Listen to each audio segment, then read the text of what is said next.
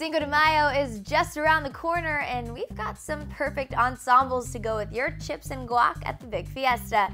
So we're taking a new spin on the traditional garb and jazzing it up with little pieces like this bralette from Topshop for $48.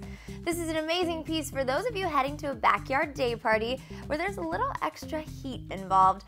Pair with some high-waisted denim shorts and strappy sandals for a perfect Cinco look. Or if you want to tone it down a little, throw it under a tank and let the Aztec just peek out of the sides.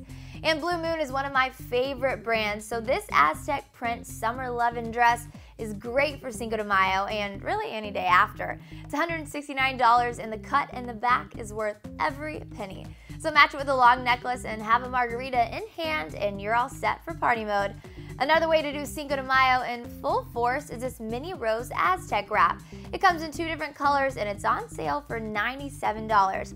So this is perfect if you're going to a night party where it's going to be a bit on the chilly side. And if you're not thinking you want to do the full-on Cinco de Mayo and just want to add a touch, Try these lace-up Aztec shoes from ASOS.com for $29. They're super budget friendly and will create a great pop of fun with a neutral outfit.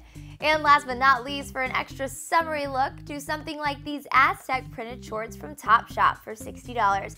They're pretty neutral, so you won't stick out, but you'll definitely get noticed. So make sure you tweet us pics of your Cinco de Mayo outfits to Clevver Style, and click that subscribe button for more outfit ideas, and I'll see you next time.